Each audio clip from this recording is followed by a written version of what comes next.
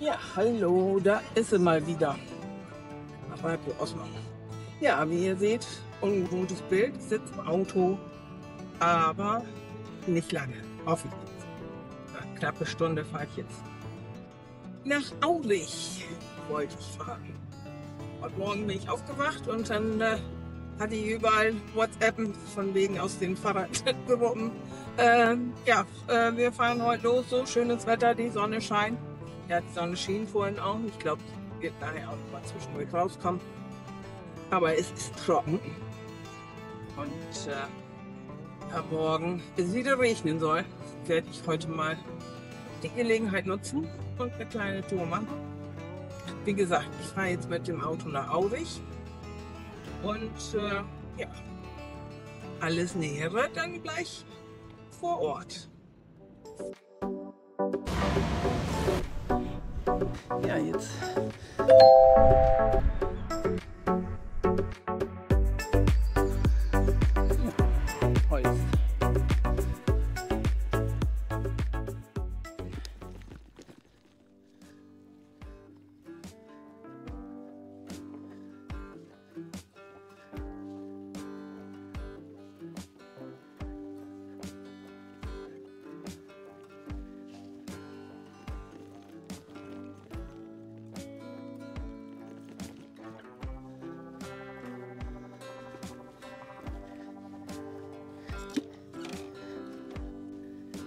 Auricher Hafen.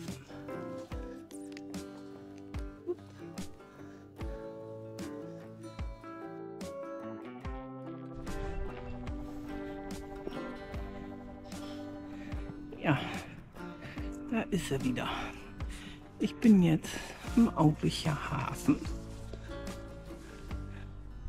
Das ist Ausflugsboot inklusive Klappbrücke da hinten. Da hinten geht es dann weiter. Und jetzt eine Restauration.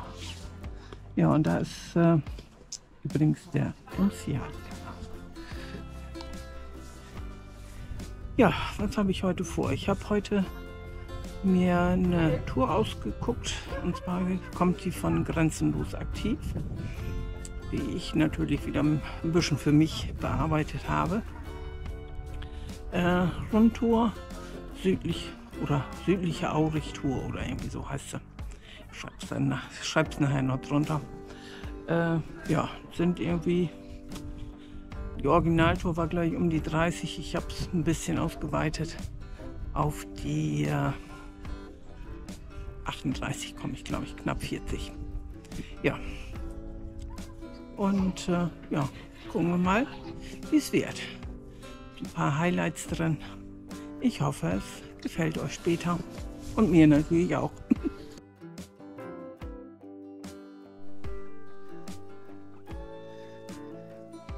ja, das da vorne ist die Klappbrücke, die ich heute aber nicht überquere. Fahre mich heute mal an der anderen Seite vom Hafen rum. Ja, deswegen drehe ich um.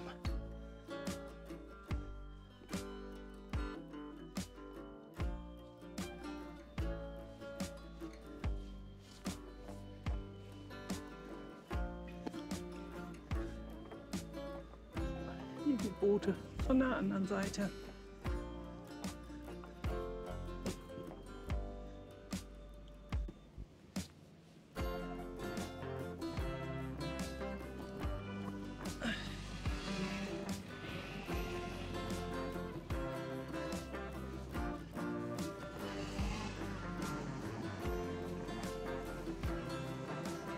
Auf der anderen Seite fahre ich gleich nur durch. Die Sonne scheint. Fahren wir auf der anderen Seite. Und da vorne wird es gleich laut, weil die am Arbeiten sind.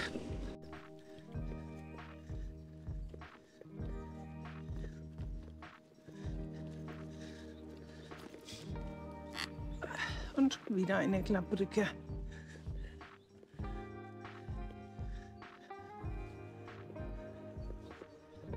Da hinten ist der Hafen.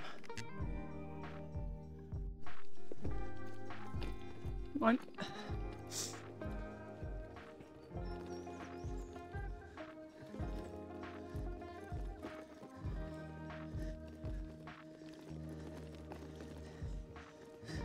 Ja, jetzt bin ich am Emsiade-Kanal.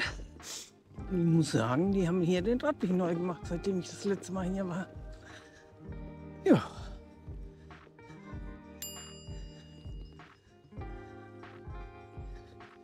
Danke. Danke.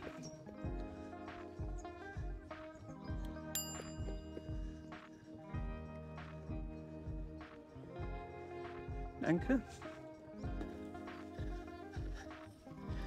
Ja, schön hier.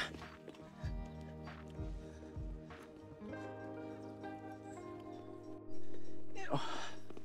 Und jetzt Baustelle.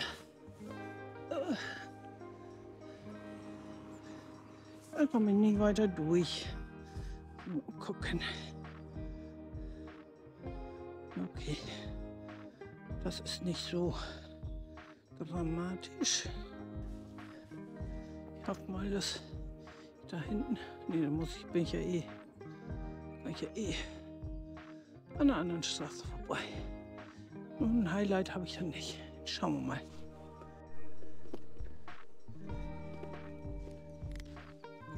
Haben wir nebenbei noch eine Mühle mit drin. Ja, jetzt kommen wir an die Schleuse Rahe.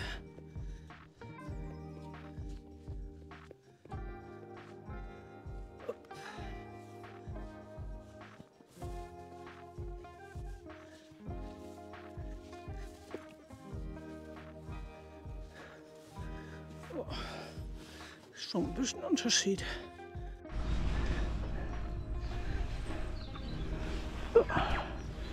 Da sieht man so ein bisschen den Unterschied.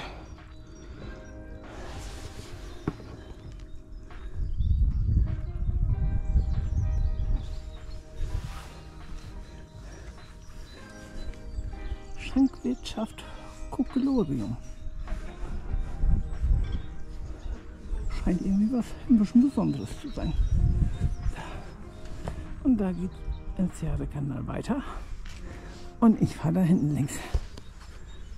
Was ich euch auch noch zeigen muss. Ich bin jetzt auch hier, oder ich bin ja schon länger ein Devil. Aber ich war ja auch zum Treffen und habe jetzt ein Kleber.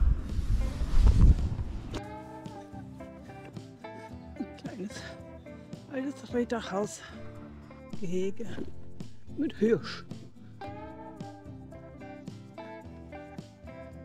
Cool.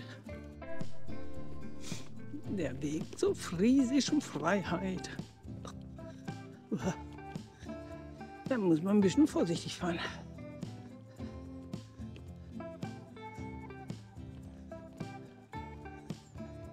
Ich hoffe ja mal, dass die Wege einigermaßen sind. Denn es ist hier schon überall noch sehr, sehr nass. Und noch was heißt noch? Das ist heute der erste Tag, wo es nicht regnen soll.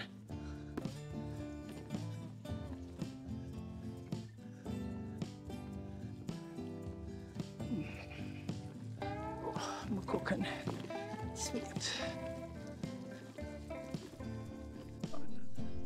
Jetzt bin ich schon beim Obstalbooms. Boom. Gehe da gleich mal dichter ran. Ich wollte eben die Schilder zeigen. Auricher Mühlentor ist hier und Auricher Rundtor Nordroute. Ich bin aber von der Südroute ausgegangen und habe dann nur den Norden etwas mit eingeplant. Ja, denn äh, ja, gucken wir mal, was hier mit dem Denkmal so ist. Hier steht schon mal Eala Frisia oder Frisia. Das ist hier der Ort gewesen, wo sich die ostfriesischen Häuptlinge immer getroffen haben. Und dann gehen wir mal weiter.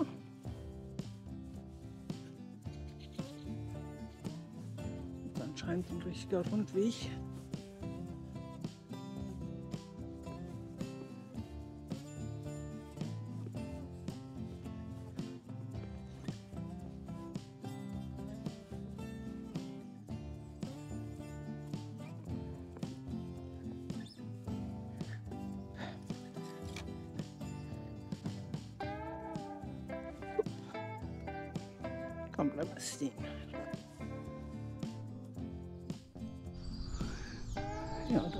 das Denkmal. Steht doch irgendwas drauf. Das kann ich leider nicht lesen. Aber es ist schon ein geschichtsträchtiger Ort hier.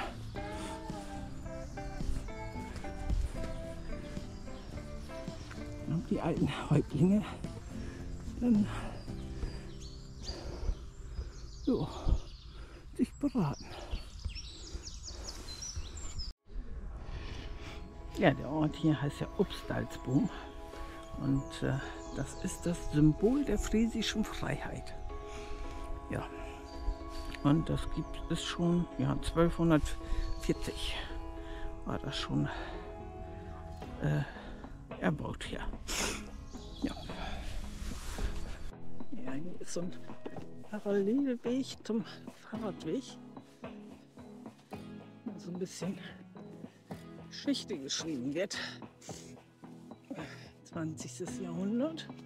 Und zwar der nationale Begeisterung und Massentod im Ersten Weltkrieg führten 1916 zu dem Beschluss der ostfriesischen Landschaft am Obstalboom zusätzliches Geländeart anzukaufen und hier ein Heldenheim mit einer Eiche für jeden ostfriesischen Gefallenen zu errichten.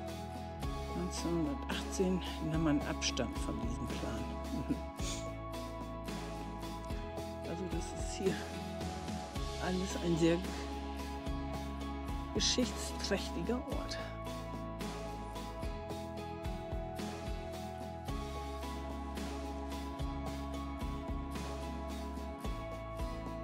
Das Obstalbohnendenkmal von 1833. Beginn des 19. Jahrhunderts drohte der Obstalbum noch unter den Flügen des angrenzenden Landwirte Ackerland zu werden. Das ist da. Dann ist das Denkmal wohl dann doch noch nicht ganz so alt. Ja. Wie gesagt, sehr geschichtsträchtig hier. Wer da mehr Interesse hat, muss sich das mal so ein bisschen belesen. Oh, jetzt habe ich mein Stativ gerade kaputt gemacht, glaube ich. Hm. Mal sehen, ob das noch hält. Wir verschrauben können. Ja, nee. Jetzt ein bisschen vorsichtig mit sein. Ja, da ist äh, ein Friese, wie ich eigentlich zeigen wollte. Gucken, was das überhaupt jetzt aussieht. Der Schriftzug hier auf der Straße. Eala Freya Resena. Freiheit den Friesen.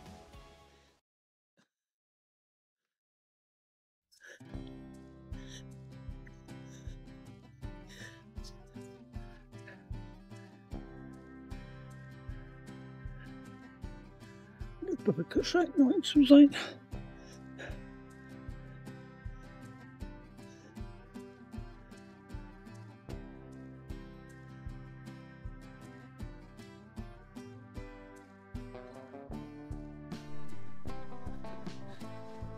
Das ist übrigens gar nicht der MCA-Kanal.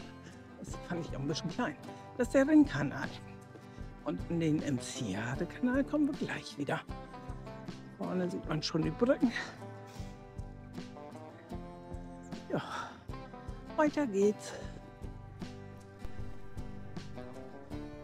Ja, hier ist wieder der Emsiade-Kanal.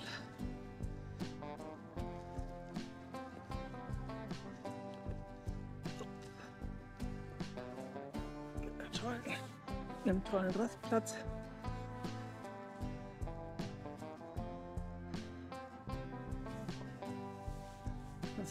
Ist die Ostfriesland. Und diese hier, muss ich gleich gucken, was das für eins ist. Das ist zumindest ein Segler. der andere auch. Ja, das ist die Ostfriesland. Und sieht hier, schauen wir mal, kann man anscheinend, weiß ich nicht, ob man es mieten kann, aber zumindest ist eine Telefonnummer eingegeben.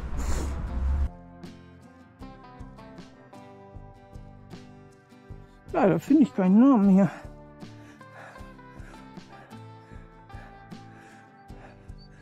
Aber da vorne ist ein Schild.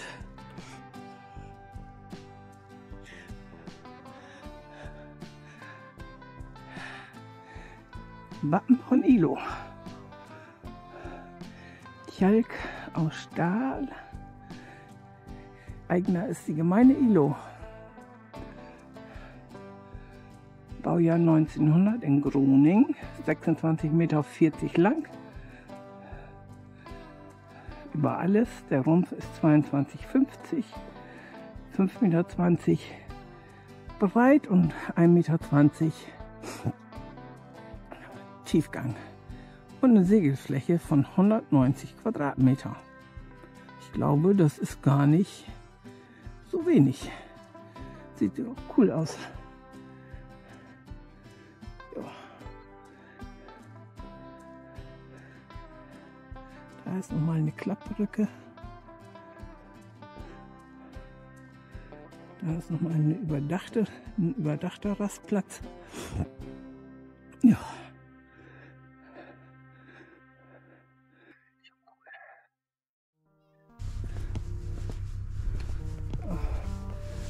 Man das so sieht, eine Ruderanlage, so ein Schwert, leicht ist das auch nicht gewesen. Ne?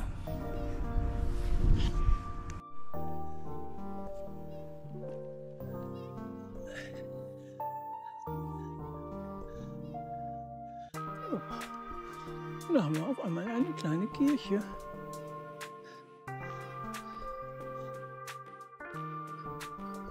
Ich guck mal, ob wir reinkommen.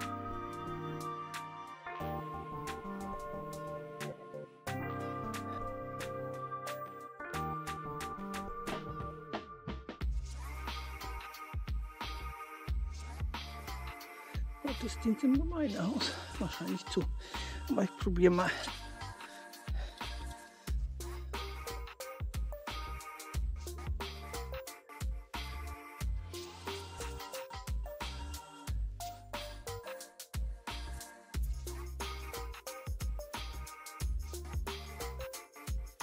So. Und am Glockenturm einige ganz alte Grabsteine. Und der Glockenturm scheint auch schon ein bisschen jünger noch zu sein. Oder zumindest kernsaniert, würde ich sagen. Da ist noch eine Gedenktafel für die Gefallenen und Vermissten beider Weltkriege.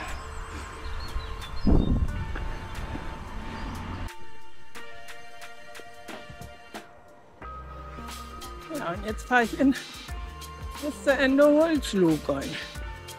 Und ich bin jetzt an meiner Straße vorbeigefahren. Will ich nochmal umdrehen. Ja, an diesem Weg bin ich vorbeigefahren. Ja, dann gucken wir mal.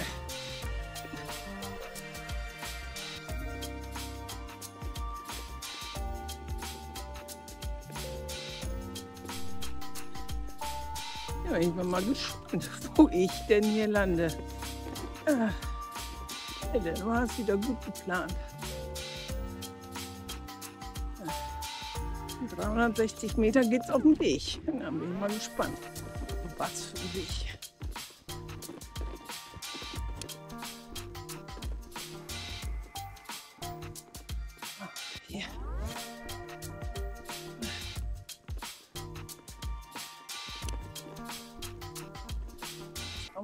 Das Wahre, überdacht.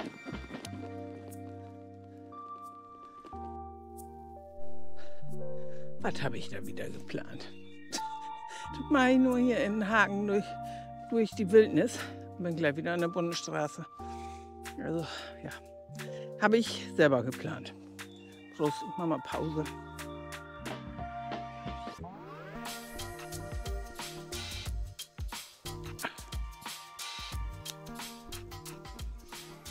Weiter.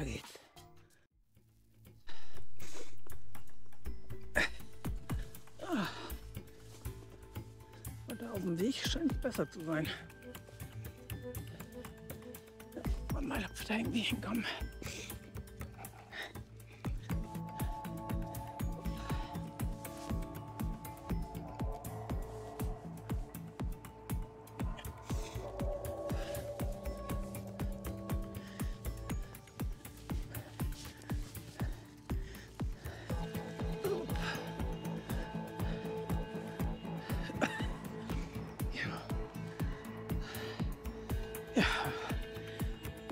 Hilleplan, Komoot lenkt. Nee, habe ich aber selber schuld. das, äh, aber wenn ich das richtig sehe, komme ich wieder auf meine Strecke gleich. Ja gut, dann mal weiter. Ja, wer nicht so Lust auf Abenteuer hat, lässt diese Ecke mal aus. Das war nicht so witzig. Jetzt bin ich hier wieder an der Bundesstraße. Ah, das war nicht so ganz so prickelnd. Also die Ecke hätte ich mir wirklich sparen können. Vor allen Dingen jetzt auch, weil es so nass ist. Aber auch der Weg an sich wird auch wenn er es wird bei Trockenheit auch nicht viel besser sein. Ja, meine Höhenmeter machen, ne? Einmal über den Ems-Jade-Kanal.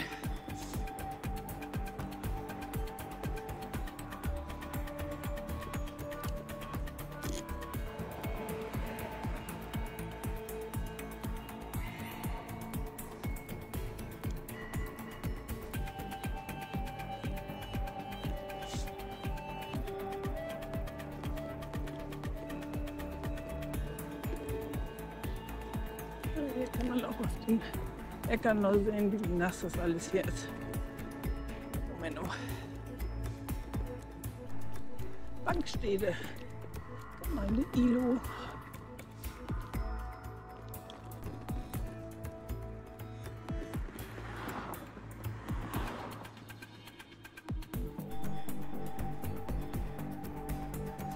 Ostfriesische Weiden.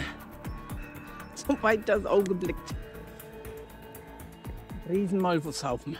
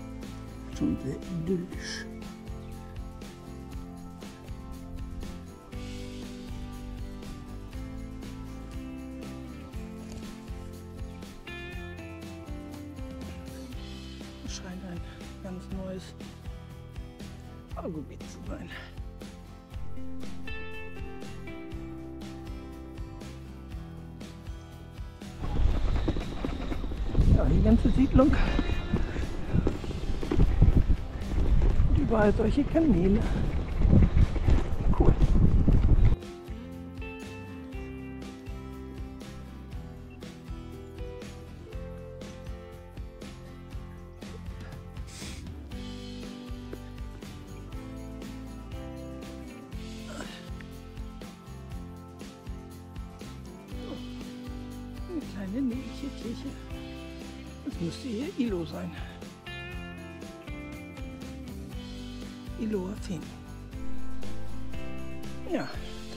Schild. Uns Kagel oben. Also unsere Kirche ist offen. Ich gehe da auch gleich rein. Und äh, da da noch andere Menschen sind, werde ich da nichts erzählen, sondern euch nur die Kirche von innen zeigen.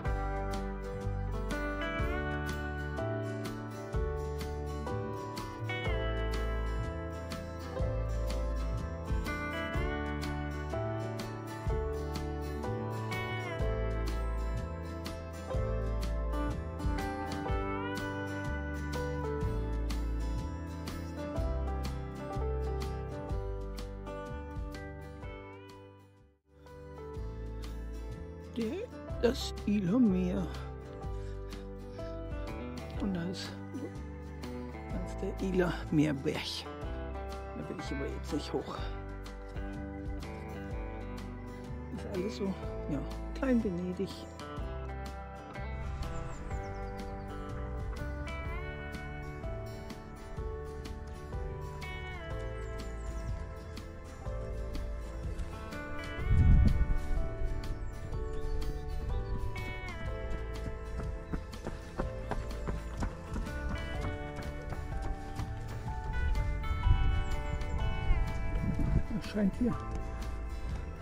Beliebte Joggerstrecke zu sein.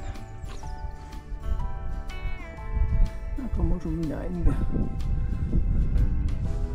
Ja. Ela See. Kannte ich noch nicht.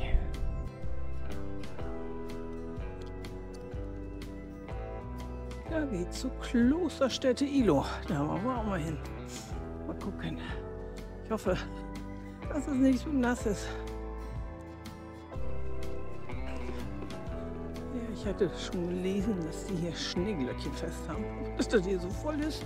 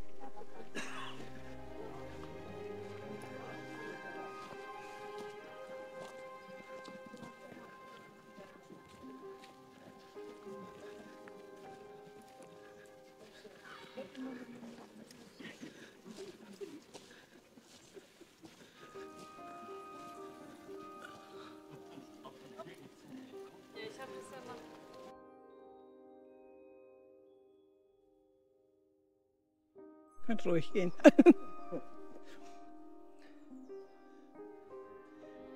Wenn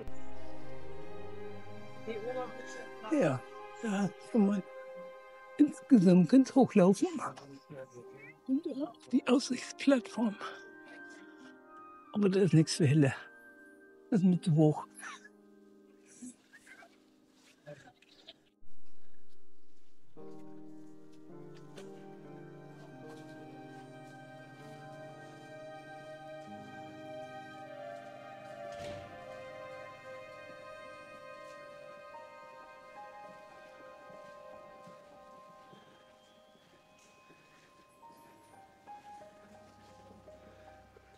Weiß nicht, ob man sieht.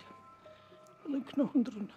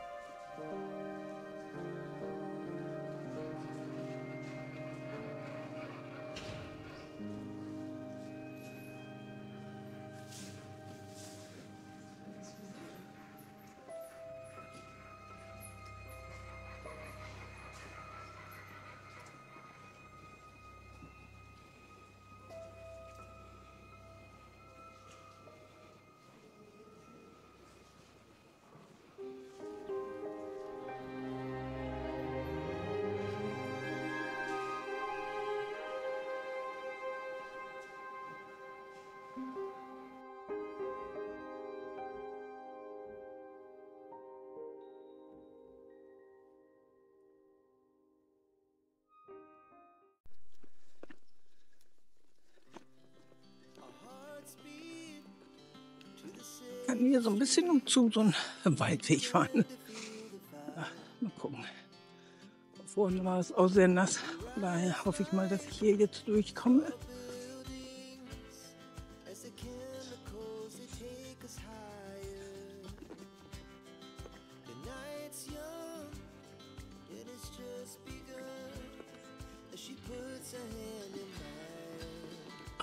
Hier geht's. Vorne sollte es ein bisschen besser werden wieder.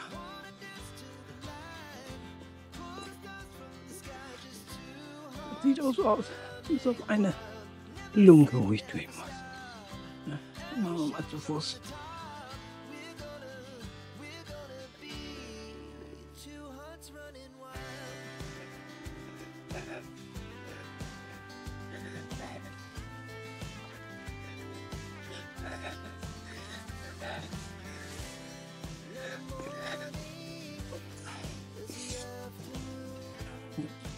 Das ging.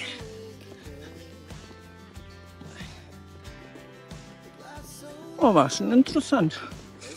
Wenn das da nicht ganz so voll gewesen wäre, wäre es ja schöner gewesen. Wie es für mich. Aber äh, ja,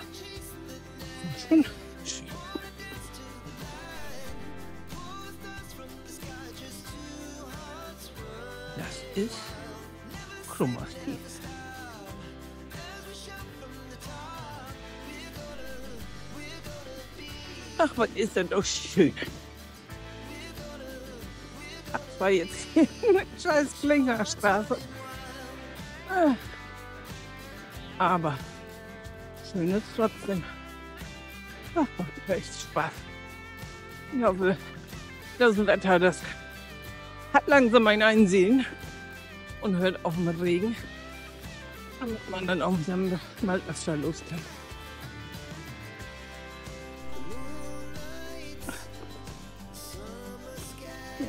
Wasser zum Grundstück über Fahrradweg. Aber ganz viele Schneeglöckchen.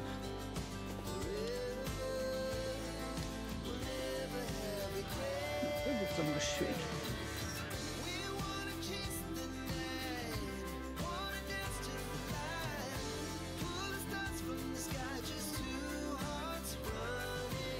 Da scheint auch wieder eine kleine Kirche zu sein.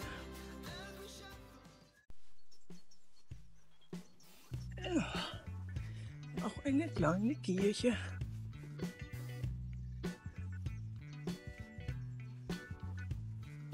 Mit einer Skulptur davor.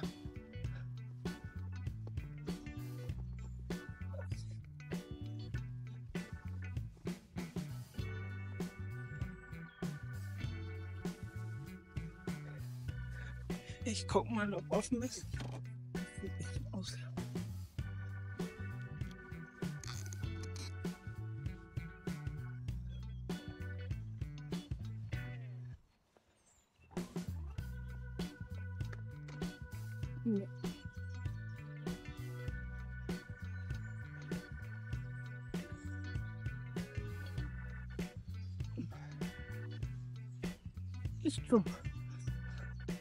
Aber insgesamt eine richtig schöne Kirche, glaube ich.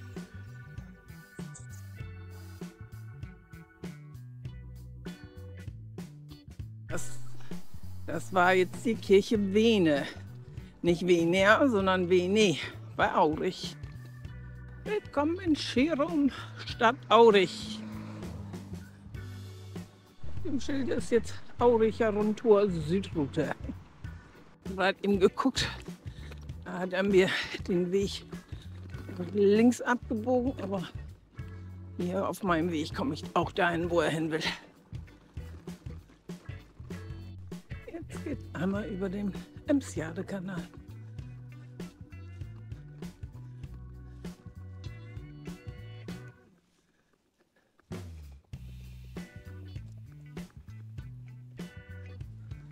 Ach, ist das herrlich.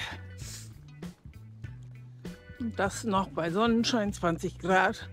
Das wäre gar nicht zu überbieten. oh, ich glaube, das war eine gute Entscheidung von mir. Weil wenn ich den Radweg runtergefahren wäre, wäre ich nicht über die Brücke gekommen. Ja, siehst du? Hat doch auch alles ein Gutes. Und die nächste Brücke.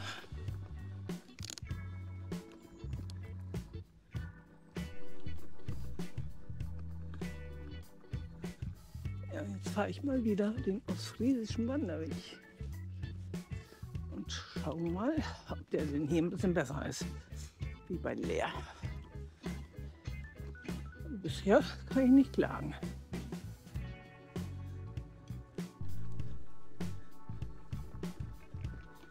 Bisher kann ich mich nicht beklagen. Mal gucken. Scheint auch relativ neu gepflastert zu sein.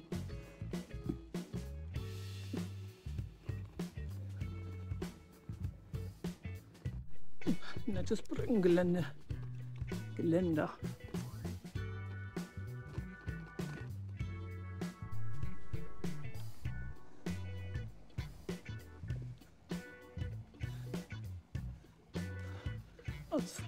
Ostfriesische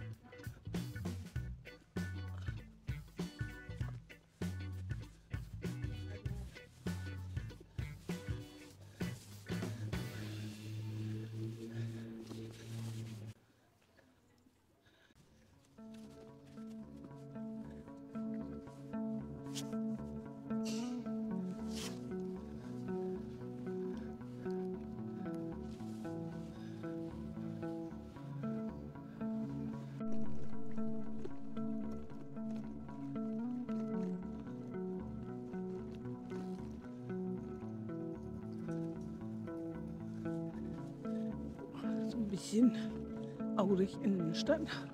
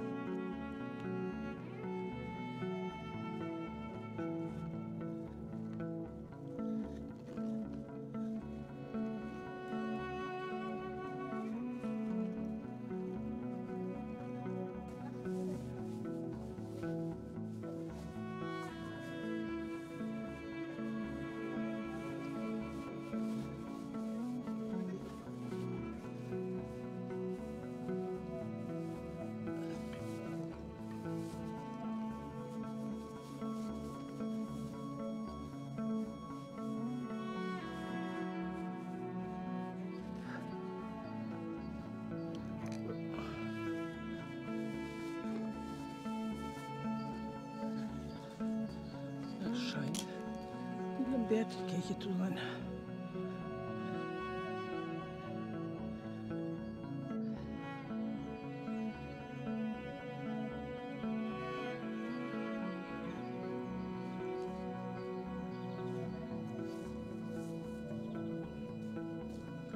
Aber versuche ich jetzt nicht reinzukommen, hier ist mir zu viel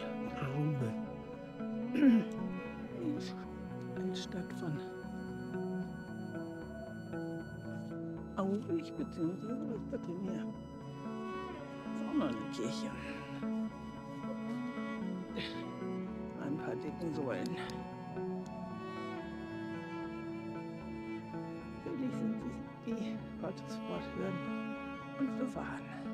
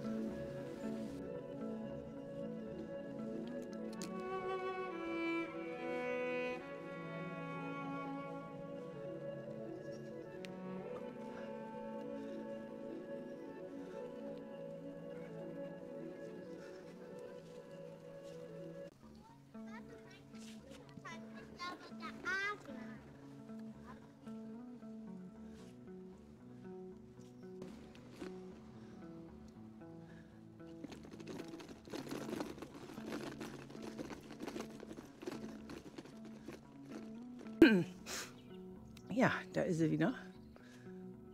Bin wieder in Aurich am Hafen. Und äh, Akku zu schwach, du bist auch zu schwach. Dann machen wir es nur mit dem. Ja, Fazit meiner Tour. Das waren irgendwie so 37 oder 38 Kilometer rund um Aurich um zu zur friesischen Freiheit nach Ilo, zum, nach Klein Venedig, zur, zum Kloster Ilo. Es war eine super schöne Tour, auch wenn da zwischendurch dann mal kleine Passagen waren, die nicht so super toll zu fahren waren. Aber an sich äh, ja, hat das der Freude keinen Abbruch gemacht. Und äh, ich habe eine schöne Tour gefahren. Ja, dann äh, ja, hoffe ich mal, dass das Wetter jetzt ein bisschen wärmer wird und auch beständiger ohne Regen, dass ich wieder ein bisschen mehr los kann. Bis dann, eure E-Bike-Kille. Tschüss.